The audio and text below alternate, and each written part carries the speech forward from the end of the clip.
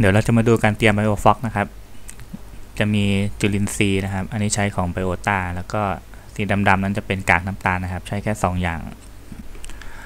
ส่วนจุลินทรีย์นี้เราสามารถใช้เป็นจุลินทรีย์อะไรก็ได้นะครับ ใช้ได้เหมือนกันหมดนะครับ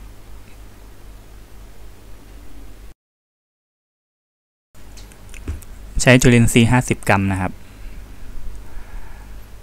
อันนี้เราจะผสมน้ำประมาณ 60 ลิตรนะครับ อ่าตอนนี้เอามาเทลงถัง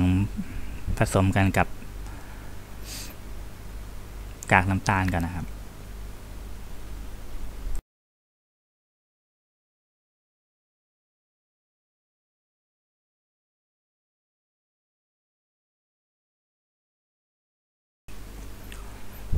ต่อไปเราตวงกากน้ำตาลนะครับ ก็ใช้ประมาณ 50 กรัมเหมือนกันนะครับ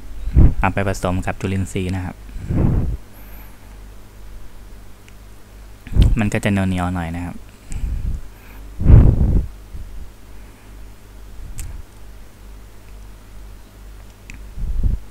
ถ้ามันติดแล้วก็น้ำเขย่าเขย่าออกนะครับ แล้วต่อไปแล้วก็เอามาคนรวมกันเลยนะครับ ให้มันเข้ากันนะครับ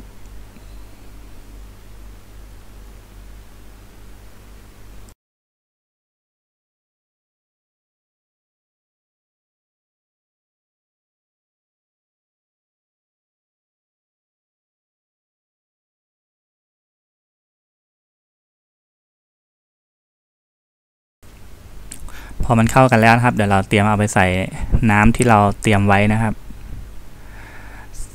ซึ่งจริง ๆ แล้วน้ำมันต้องเป็นน้ำเปล่านะครับ แล้วก็ใส่ออกซิเจนไว้ แต่พอดีอันนี้ผมทำไว้เรียบร้อยแล้วนะครับ ผมก็เลยจะมาเทเพิ่มขึ้น เป็นการเติมเข้าไปนะครับ เพื่อให้เชื้อมันแรงขึ้นนะครับแต่สำหรับท่านที่ทำใหม่นะครับ เอาใช้น้ำเปล่าได้เลยนะครับ เป็นน้ำประปาก็ได้นะครับ แล้วก็ใส่ออกซิเจนไว้นะครับ แล้วก็ เอาตัวที่เราผสมไว้เทลงได้เลยนะครับ เท่านี้ก็เป็นอันเสร็จนะครับแล้วทิ้งไว้ประมาณอาทิตย์หนึ่งก็สามารถใช้ได้นะครับ วิธีใช้นะครับแล้วก็ตักหัวเชื้อไปเติมใส่บ่อน้ำที่เราเตรียมไว้นะครับ